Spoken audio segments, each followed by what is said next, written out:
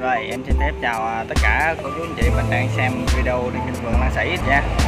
Lâu quá không chia sẻ với cả nhà mình à, một chút xíu về à, phân bón hay là thuốc trừ sâu gì hết trơn chị Thì hôm nay ngồi nhà mũi quá. Chia sẻ với anh chị em mình cái cái một cái chế phẩm nha, Chế phẩm gì côn trùng. Thì ở trên trên trên trên em thấy trên mạng cũng có nhiều anh chị mình giới thiệu rồi, thì ở đây em cũng giới thiệu thêm thôi ha thì em cũng em cũng sử dụng thử rồi anh chị em ơi. Thì uh, lúc kỳ nha anh chị em ha. Lúc kỳ này anh chị mình pha cho một xe cho một lít nước mình cứ à, nhiều nhiều thì nhân lên thôi chứ phun dưỡng bình thường hết.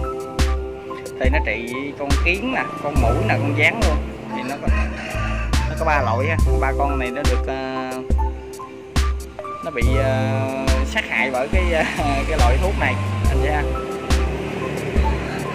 anh chị em mình có thể tham khảo ờ, mua về mình sử dụng thì ở đây ờ, em sử dụng thấy ok thì chia sẻ anh chị em mình. Tại vì cái giường mình nhiều khi có kiến á thì cũng sử dụng cái thằng này được anh nha. Và thằng này anh chị em mình ờ, chỉ trị đục bông cũng được luôn. Đó thì cả nhà mình tham khảo. Thì hôm nay em quay trong một cái video à, cũng lâu rồi không chia sẻ chị em mình cái phân thuốc. Thì hôm nay chia sẻ chị em mình cái sản phẩm trị côn trùng cả nhà thì ở vườn lan hay có hơi ẩm á, thì mũi nó đẻ trứng thì này nọ cũng nhiều lắm. Nhiều khi mình ở vườn cũng có mũi, mùa mưa tới anh chị ha thì à, video tới thì em chia sẻ chị mình một số à, dòng thuốc là trị à, thúi thúi nhũng anh nha thì cả nhà mình tham khảo đăng ký kênh để ủng hộ anh chị em ơi. Rồi video hôm nay làm ngắn thì chị chia sẻ cả nhà mình cơ bản thôi. Thì cái sản phẩm này anh chị mình phun vào buổi chiều nha anh chị ha phun vào buổi chiều.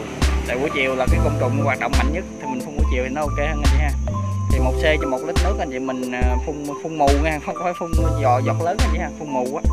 Giống như mình tưới à, tưới phân tưới thuốc á. Rồi cảm ơn cả nhà, em chúc cả nhà mình à, một ngày thật là vui vẻ anh chị ha.